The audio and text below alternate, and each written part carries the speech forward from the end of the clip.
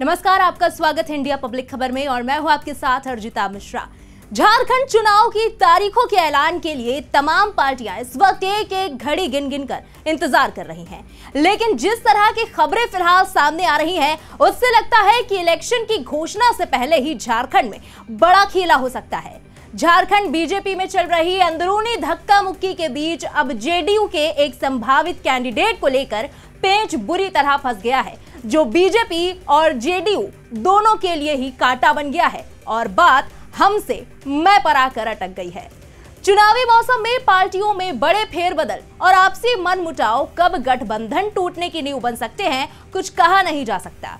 हालाँकि आमतौर पर गठजोड़ टूटने की वजह ज़्यादातर सीट शेयरिंग, कभी अपने प्रत्याशी लड़ाने को लेकर तो कभी वाजिब सपोर्ट या विचारधारा ना मिल पाने के लिए होते हैं।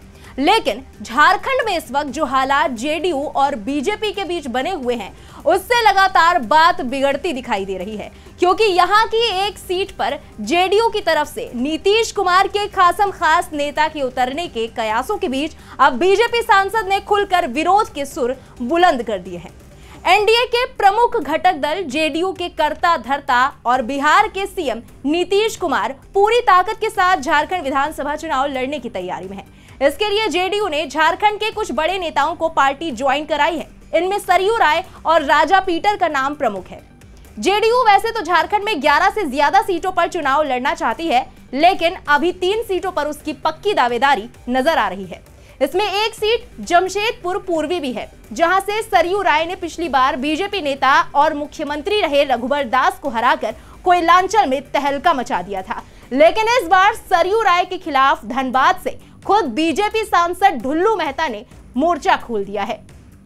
ढुल्लू मेहता और सरयू राय के बीच की अदावत 2024 के लोकसभा चुनाव में खुलकर सामने आई थी। जब बीजेपी ने धनबाद से ढुल्लू मेहता को चुनावी मैदान में उतारा और सरयू राय ढुल्लू का विरोध करने धनबाद पहुँच गए, उन्होंने ढुल्लू की प्रतिद्वंद्वी कांग्रेस की उम्मीदवार अनुपमा सिंह को अपना आशीर्वाद भी दिया था। लेकिन ढुल्लू मेहता ने बड़ी जीत हासिल की और सरयू राय के लगातार कैंपेनिंग करने के बावजूद अपना झंडा बुलंद किया।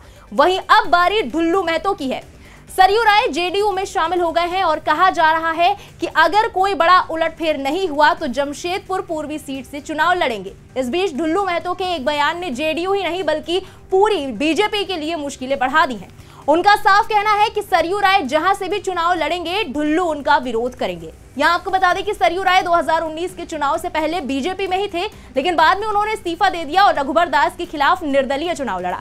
इस चुनाव में सरयू राय को तिहत्तर वोट मिले थे, जबकि रघुबर दास को अट्ठावन वोट हासिल हुए थे। रघुबर दास इस सीट से लगातार पाँच बार विधायक रहे थे। उन्नीस से लेकर 2014 तक उन्होंने लगातार यहाँ जीत दर्ज की थी।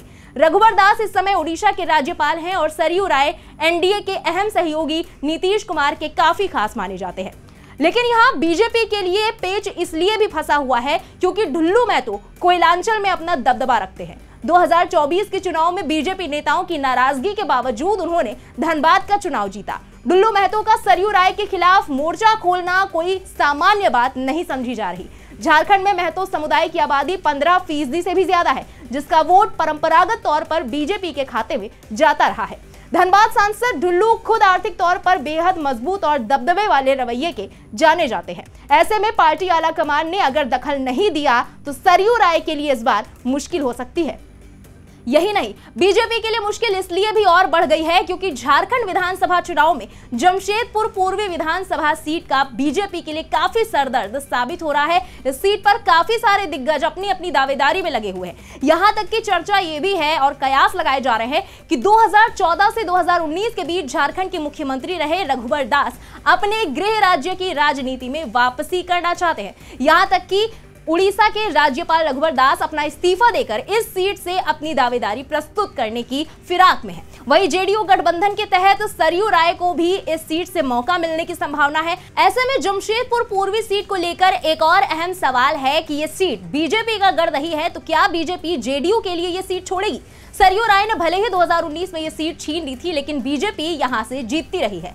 इस बीच पूर्व क्रिकेटर सौरभ तिवारी भी चुनावी मैदान में डेब्यू करने के लिए तैयार हैं। वो जनता के बीच हैं और लगातार संपर्क अभियान चला रहे हैं। बीजेपी नेता अभय सिंह भी इसी सीट से चुनाव लड़ने की तैयारी में है। अभय सिंह बीजेपी में विलय से पहले बाबूलाल मरांडी की पार्टी झारखंड विकास मोर्चा का हिस्सा रहे। लिहाजा उनके दावे को खारिज करना भी बीजेपी आला कमान के लिए इतना आसान नहीं होगा। गौर करने वाली बात है कि झारखंड में विधानसभा चुनाव 2024 को लेकर सियासी हलकों में हलचल है। प्रदेश में चुनावी तारीखों की घोषणा से पहले राजनीतिक पार्टियों ने अपनी कमर कस ली है। ये चुनाव झारखंड की सभी इक्यासी विधानसभा सीटों के लिए होगा। मौजूदा विधानसभा का कार्यकाल 5 जनवरी 2025 को समाप्त हो रहा है। इस बार भी हेमंत सोरेन की झारखंड मुक्ति मोर्चा और बीजेपी के बीच कड़ा मुकाबला देखने को मिल रहा है। एक तरफ़ से कहा जाए तो इंडिया अलायंस और एनडीए में सीधी टक्कर यहाँ पर होने वाली है। इसके अलावा नीतीश कुमार की पार्टी जेडीयू भी सियासी खेल बिगाड़ने को चुनावी मैदान में उतरने को तैयार है। हालाँकि फ़िलहाल जेडीयू एनडीए का हिस्सा है। वहीं झारखंड विधानसभा चुनाव में कांग्रेस, आरजेडी, जेवीएम, आजसू जैसे राजनीतिक दल भी अहम रोल अदा करते हैं। इन्हीं सबके बीच खबरें सामने आ रही है कि झारखंड में विधानसभा चुनाव 2024 की चुनावी तारीखों का ऐलान भी जल्द ही होने वाला है। चुनाव तारीखों की घोषणा 8 अक्टूबर के बाद मानी जा रही है। यह भी बताया जा रहा है कि प्रदेश में 15 नवंबर के बाद मतदान हो सकते हैं। प्रदेश में इस बार दो चरणों में मतदान होने की उम्मीद जताई गई है। इसके साथ ही नवंबर महीने के तीसरे सप्ताह तक मतगणना, यानी कि नतीजे आने की भी संभावना है। वही इससे पहले 2019 में 30 नवंबर से लेकर 20 दिसंबर तक पाँच चरणों में वोटिंग हुई थी और इसके नतीजे 23 दिसंबर को आ गए थे, जिसमें झारखंड मुक्ति मोर्चा की जीत हुई थी और हेमंत सोरेन ने मुख्यमंत्री के तौर पर शपथ ली थी। वहीं अब जेडीयू और बीजेपी के लिए कश्मकश भरे हालातों में अब देखना होगा कि बीजेपी और नीतीश कुमार इस लड़ाई को कैसे मैनेज करते हैं और नतीजों पर इसका क्या असर पड़ता है। फ़िलहाल इस खबर में बस इतना ही। इस पूरी एनालिसिस पर आपका क्या कह रहा है कमेंट में लिखकर ज़रूर बताएँ। देश और दुनिया की बाकी खबरों के लिए बने रहें इंडिया पब्लिक खबर के साथ। हमारे यूट्यूब चैनल को सब्सक्राइब करें बेलाइकन दबाना बिल्कुल ना भूलें।